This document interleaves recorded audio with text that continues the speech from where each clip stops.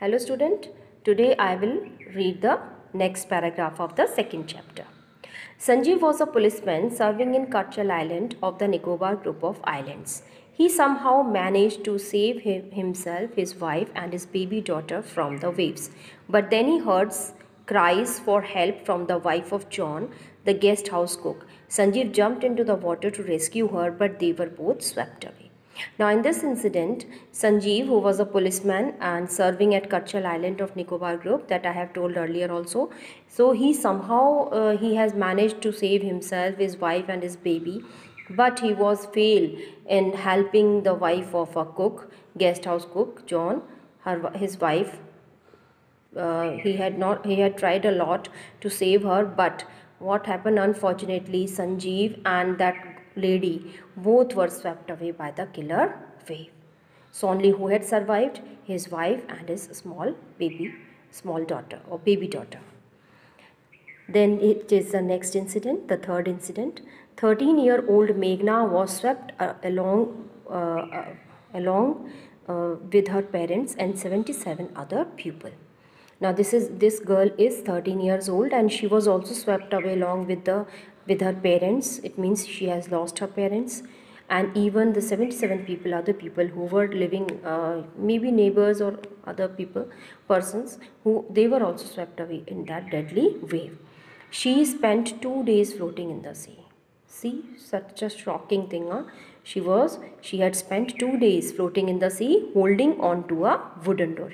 She had taken help of a wooden door so that she can't sink in the water. Then 11 times she saw relief helicopters also.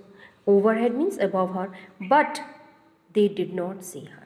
But those relief, relief, uh, relief helicopters have not seen her. Now, what are the relief helicopters? See, students, the meaning is written here. Helicopters bringing help to people during the flood time. So, the she saw the uh, relief helicopters, but they had also not, uh, you know, uh, they have not seen uh, that uh, Meghna was floating in the sea. So what happened? She was brought to the shore by a wave. See such a irony that the wave has it, itself swept uh, Meghna in the sea and then again that wave has put Meghna towards the, she, uh, she had pushed back Meghna towards the shore. So see one, one uh, at one time the wave was uh, you know uh, it was a disastrous to uh, Meghna and at the other moment it was her, uh, her friend also that she had moved way, uh, towards her to the seashore and was found walking on the seashore in a daze. Daze means uh, children bewildered or distressed. She, why she was distressed? Because two days she had eaten nothing, she has drunk nothing, even a, a bit of water.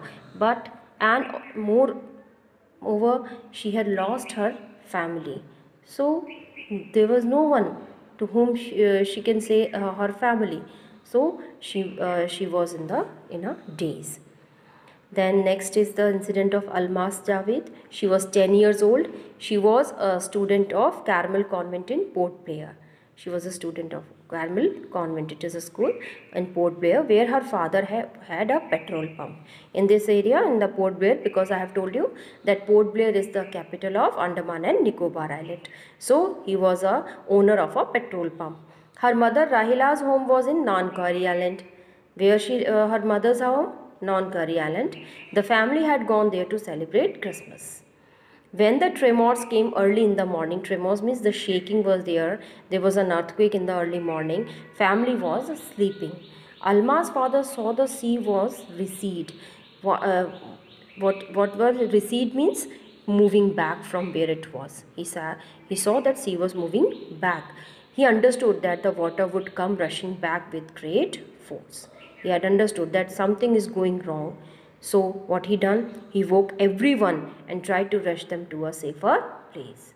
He woke up his family and told them that we have to rush from this place because something is miss some miss happening uh, maybe go maybe uh, or some mishappening uh, might take place. As they ran, her grandfather was hit on the head. Uh, because they were in hurried and in, the, in this hurriedly manner her grandfather hit his head on some uh, solid object and he fell down. He became unconscious. Her father rushed to save him help him or save him. Then came the first giant wave. Then come the first giant or killer wave that swept both of them away. And her father and her grandfather gra- grandfather both were swept away with that killer wave then alma's mother and aunts, her aunts, stood clinging to the leaves of a coconut tree. It means they have hold it tightly. Clinging means hold tightly the coconut tree, calling out to her. It means she, they were calling Alma. A wave uprooted the tree, but that waves have a strong uh, force. So that strong force wave had uprooted means it put out the tree from its roots. And what happened? A wave uprooted the tree, and the two were washed away her aunt and her mother. Alma saw a long of log of wood floating. She climbed on it, then she fainted. She climbed on the wood as uh, Meghna's helped with a wooden door. She had helped herself with a log of wood floating. She climbed on it, then she fainted. She became unconscious. Fainted means unconsciousness. When she woke up, she was in the hospital in Kamorta. From there, she brought to Port Blair. The little girl does not want to talk about the incident with anyone. She is still traumatized. She was in great shock. She was in great distress. She didn't, so she didn't want to share any kind of um, talking or she didn't want to engage in any kind of conversation because now she was not in a mood. She has lost everything. More, uh, she has lost her family her father, her mother, her aunt, her uh, uh, maternal grandfather. That's why she was also in a great. So you have seen that how the persons were great traumatized in this uh, uh, in this uh, uh, natural disaster. They, this natural disaster has ruined the life of every each and every person understood? So these incidents are from andaman and nicobar islands. These are uh, children very little incident. But we read this if you read this uh, story in a newspaper or you uh, or uh, you will watch it on the net then you will see that how uh, tremendously it has uh, you know affected the life of the people. Okay? Now come to the comprehension check uh, say whether the following are true or false. Ignatius lost his wife, two children, his father-in-law and his brother-in-law in the tsunami. It is true. Okay, because he had, though they they were saved, but that tsunami has hit, hit them. They had swept away in that wave. Understood? Because they have mistaken it. They thought that they thought that it is a it was an earthquake, but it was a tsunami. They do not know how the tsunami arrived. Then Sanjeev made it to uh, safety after the tsunami? No, he, he didn't make any kind of safety net. Why? Because he was, when he, uh, somehow he had saved his family, but when he went to help that lady, he was swept away with that giant, or uh, with that uh, killer wave.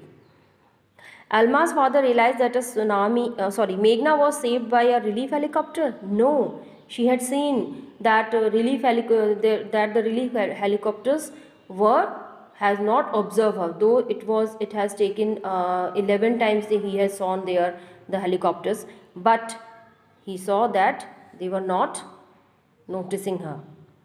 Alma's father realized that a tsunami was going uh, going uh, to hit the island.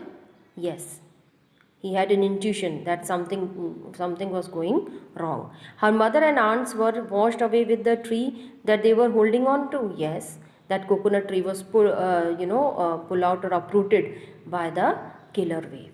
Now i will uh, read the second part